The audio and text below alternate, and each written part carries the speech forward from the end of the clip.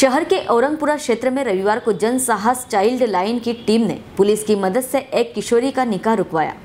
Team करीब तीन बजे मौके पर पहुँची। यहाँ शादी में आए लोग आयोजन की तैयारियों में व्यस्त थे। अचानक टीम को देखते ही सबके होश उड़ गए। टीम में शामिल दीपक भाबरे, संतोष जमरे, नंदराम चौहान आदि ने बताया कि चाइल्ड लाइन के हेल्पलाइन नंबर पर बाल निकाह की सूचना मिली थी, जिसके आधार पर पुलिस और महिला बाल विकास विभाग को सूचना दी गई। पुलिस की मदद से टीम सदस्यों ने मौके पर पहुंचकर परिजनों को समझाइश दी। भाबरे के मुताबिक परिजनों ने भाबरे के मुताबिक परिजनों से किशोरी की उम्र 17 वर्ष, सात माह बताई गई। परिजनों को समझाइश दी कि बाल विवाह कानूनी अपराध है। लड़की के बालिक होने पर ही उसका विवाह कराए, जिस पर परिजनों ने सहमति जिस पर परिजनों ने सहमति जताई। कार्यवाही के दौरान आंगनवाड़ी कार्यकर्ता भी मौजूद रहे। खरगोन से जयंत गुप्ता की रिपोर्ट। जैसे कि जनसार child helpline toll free number है। उसमें हमारे पास सोलर द्वारा जानकारी बताई गई है कि औरंगपुरा में एक नाबालिग का विवाह हो रहा है।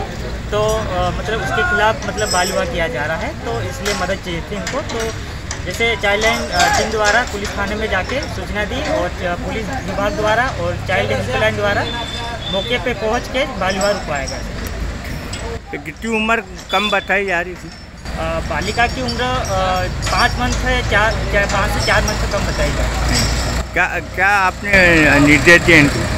जी सर। क्या निर्देश दिया आपने इनको? उन्हें जैसे अठारह वर्ष हो जाएगा तो उन्हें विवाह करने के लिए मतलब बता दिया गया है समझाया गया कि जैसे बाल विवाह करवाना कानूनी अपराध है। है तो ये बाल विवाह के बारे में थोड़ा सा मुझे जानकारी मतलब विवाह रुकवा दिया है दो तीन चार महीने बात करेंगे। जी क्या नाम सर आपका? दीपक भाबरे किस पद पे हो आप?